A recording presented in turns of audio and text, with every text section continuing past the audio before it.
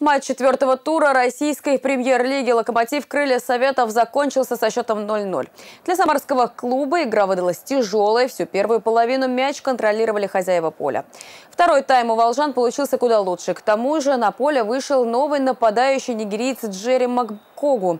Но реализовать несколько опасных моментов так и не смогли. Почти стопроцентный шанс упустили и железнодорожники. На 77-й минуте за спорный фол ворота волжан назначили пенальти. Спас команду Георгий Лория.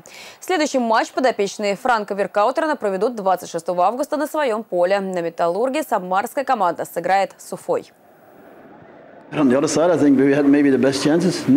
С другой стороны, у нас, может быть, были лучшие шансы. Почти. И также у нас были шансы выиграть игру. So on one side I'm uh, happy. С одной стороны, я доволен. On the other side, uh, it's of course a pity when you have these chances. А с другой стороны, конечно, жалко, когда такие шансы представляются и не реализуются.